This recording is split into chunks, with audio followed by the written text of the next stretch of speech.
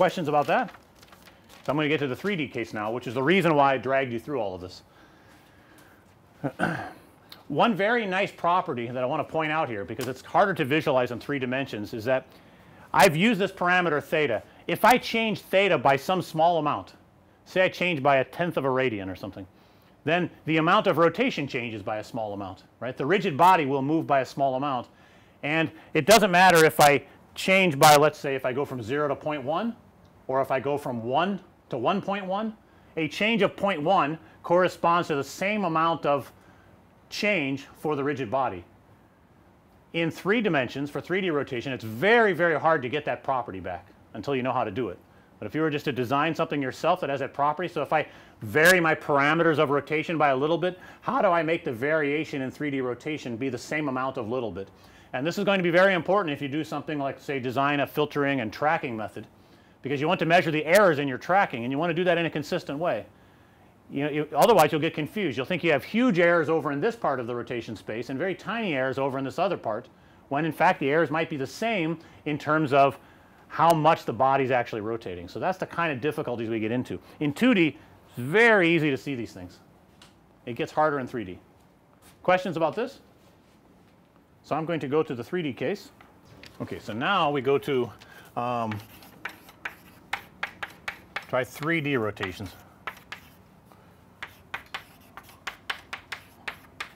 Um, I don't think I feel like writing 3 by 3 matrices with a bunch of M's and subscripts and all of that. So I'll just write it with dots inside. So we have bigger matrices now. I'll just write some dots here, make it fast. You can fill in the M's if you like. Um, so now I have 9 degrees of freedom for a 3 by 3 linear transformation with real valued entries here.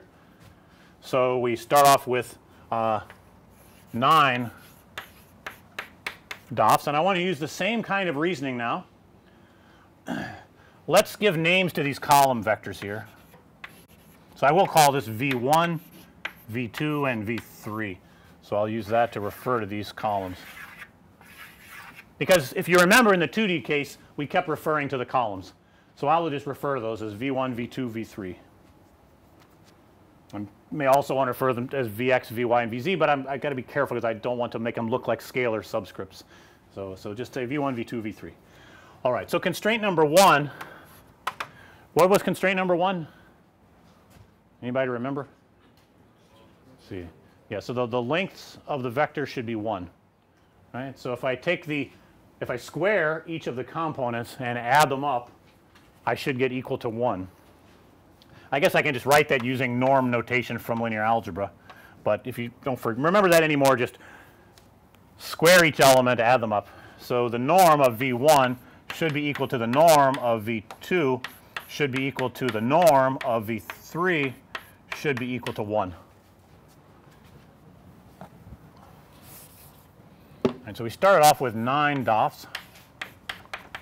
Um, how many did I just lose? 3, right? So I lost 3 there. So I have this these so this thing gives me a degree of freedom penalty of of 3, right? So I lost 3 degrees of freedom. All right. 2 2 was this thing about inner products, right? You have to avoid shearing so you have to have the inner products be equal to 0, right? The, the dot products between the columns. Which columns do I pick? What's that? All of them. All, let's see, well dot products, there's not really a, a, a triple way product here, right? So we got to do it in pairs.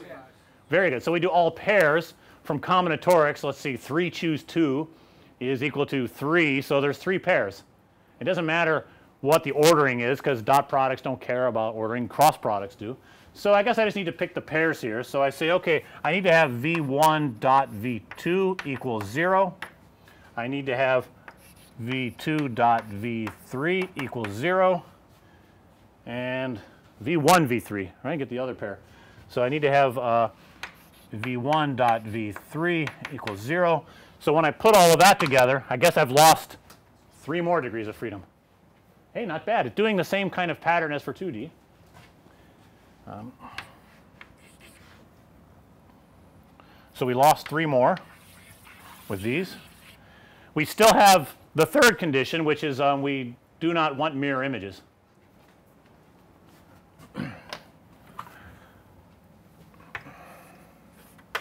So 3, we need to have the determinant of this big 3 by 3 matrix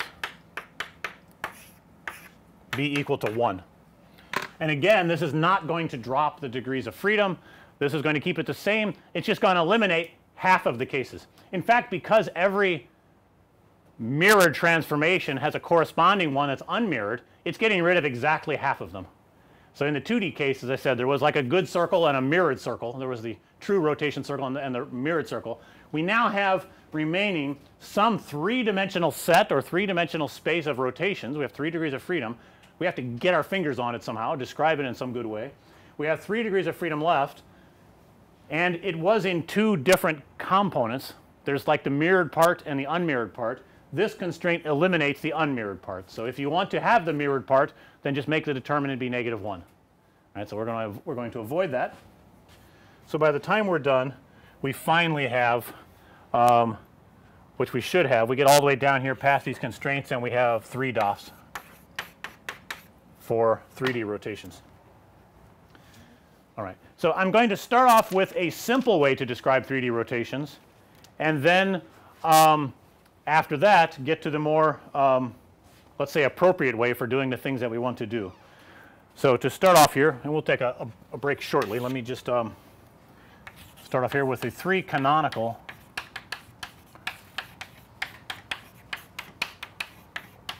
the three canonical rotations which are yaw, pitch and roll.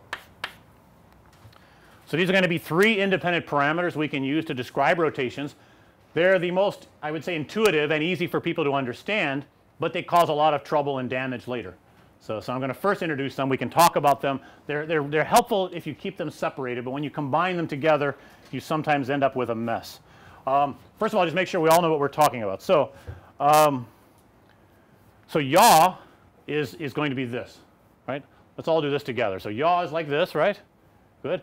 Then pitch, so yaw is like no, right? And pitch is like yes.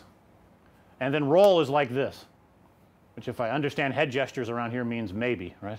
So I'm not sure. Is that right? So, so we have yes, no, and maybe. So, um, so let's all do this together. So yaw, say it together. Yaw, pitch, and roll. Roll, right? So keep those keep those straight. It's very very helpful. Yaw, pitch, and roll. Um, so let me just write out the matrices for these, and then we'll and then we'll break. Um, yaw. I'll write it like this. I'll say it's a rotation matrix with a parameter alpha, and it looks like this. Cosine alpha 0 sine alpha 0 1 0 minus sine alpha 0 cosine alpha.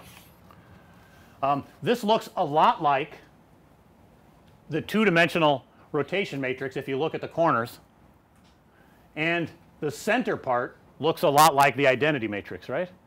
So, the center part looks like the identity matrix because it's basically saying don't disturb the y coordinate.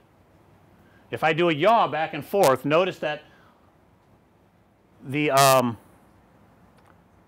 yeah, notice that the y coordinate is not changing, right? y is up. I forgot my coordinates for a bit here. Yeah, y is is upward. So notice y is not changing when I do this, correct? Only x and z are. So it's essentially a rotation in the xz plane. That's why it looks like the 2D rotation matrix. Um, there's a little bit of uh, change with respect to it, but that's because these are appearing in the corner. If you do a circular shift downward and over, then it'll look exactly like the, um, the 2D rotation matrix being applied. So pitch is very similar. We write R of beta, let's say. Which, which axis is left undisturbed for pitch? So do this, x is undisturbed. So we can already guess that the x part is going to look like an identity matrix. And then here in this remaining part, this remaining block, we just make the uh, 2 by 2 rotation matrix, but with a beta in it. Cosine beta minus sine beta, sine beta, cosine beta. And then finally, roll. roll should leave the z coordinate alone then, right? So z is going back and forth, z is the depth. So z goes back and forth. When I do a roll, I should not be interfering with that.